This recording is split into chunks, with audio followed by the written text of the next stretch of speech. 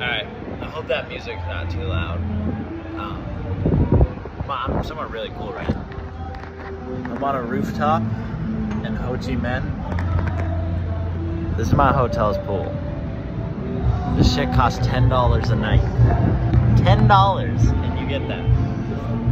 Um, the reason I'm taking this video is because of, I guess, the amount of distaste towards Americans that I've experienced lately. It just bums me out. And at first, you know, you just brush it off, it's nothing, but it keeps happening again and again. And if they were all just claims, then I'd be like, all right, yeah, yeah, whatever.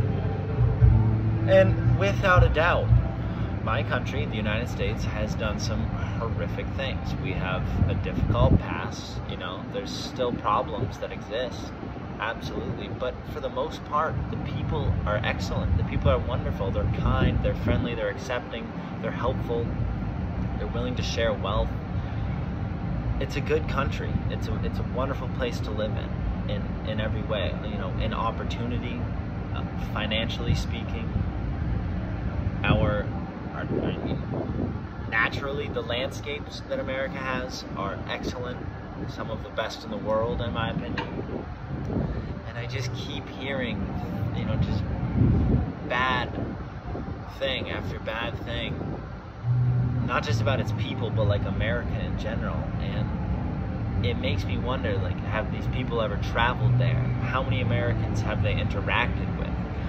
and how much of it is just coming from the news? How much of it is coming from it just being a popular take nowadays to shit on America and think that Americans are stupid and unintelligent and undereducated? And without a doubt, there are, as I said, there are flaws. There are many undereducated people, but it seems as though the highlight is on America, that that is the place just to pick on now. And it just seems like a lazy take. Go there, talk to the people. Don't just don't just go and be like, oh yeah, you guys are all racist over there. Like, shut up. Shut up. Who says that? Especially to someone you just met. And then, uh, for example, last night, Shmi and I were hanging out with this Australian guy. And, well, I don't know who subscribes to me on YouTube. It's four people. And I assume that it's it's just like three people who watch the videos who know me, and those are the uh, the mass of the views. So anyway, Shmi, my friend Jared, a very loving person. He's loud, he's energetic, and those are the reasons that people like him.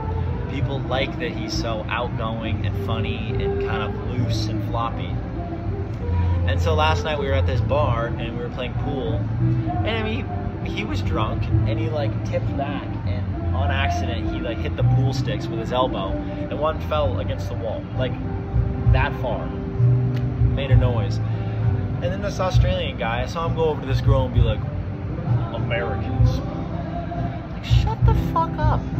What does that have to do with Americans? Nothing. Nothing at all. Don't just take easy little jabs because you're trying to get some ass. That's pathetic. And then, you know, I saw this guy go up it was Thanksgiving yesterday, and Jared and I found it. There was, there was an American on the street, and we went up to him. and We gave him a hug because it's nice to celebrate that with another person. And this Australian guy was getting into it, so we'd go up and ask people if they were American. I saw him ask a German man if he was American. He said no, and then I saw the Australian guy go over and apologize to him. As if asking him that question was such a great offense. As if Germany doesn't have a scarred past. There are so many places in the world that have so many terrible histories to them. Why focus on just America's bad history? Why take shots at them? It's lazy. And I'm not one to say like that nationalism is the way to go. Not everyone has to fly an American flag off the back of their fucking F-250. In fact, I, I mean, I don't necessarily think that would be a good thing whatsoever.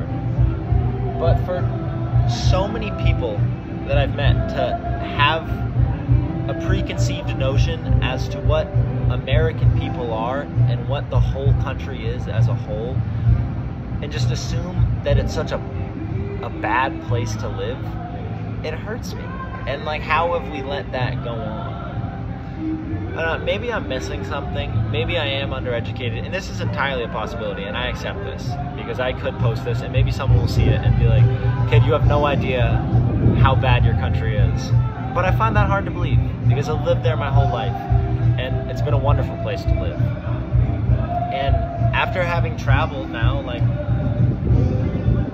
I mean, it's not like I'm the most experienced traveler, but now I've, I've been around a little bit. I've seen other countries and I love them. I absolutely love them. I love the places I've gone in Asia, the places I've traveled in Europe. But everywhere has its flaws. Absolutely. So why just pick on America? The flaws are evident, yes. But couldn't you like try to get to know the people from there first? Especially those that I've met who have never traveled to America and who have experienced very few Americans.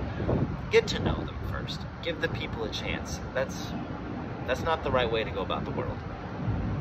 So I know this is kind of just a run-on rant, but I needed to get it out because it's kind of it's been festering in me. And I'm not hurt by it. I'm not truly hurt. It's just I hope that people I meet say say if I meet someone in 10 years, I hope they can have a little more open of a and not just assume that they're just dumb, fat, undereducated, and poorly traveled people from America. That's not it. Especially not my experience. The people I know are wonderful from America. So, if you're seeing this, and say if you are from another country, get to know some Americans first. And go to the country. Travel, see it, and then judge it. Or just see it for its good, period. What's so difficult about that? Everywhere has flaws. You don't need to pick them out. See the good parts about it because there are inevitably good parts about the United States, as with any country. So that's it. I'm sorry. I don't mean to sound like a nationalist because that's not the stance I'm coming from. It's just give people a chance from the United States. That's, that's all I'm asking. That's it.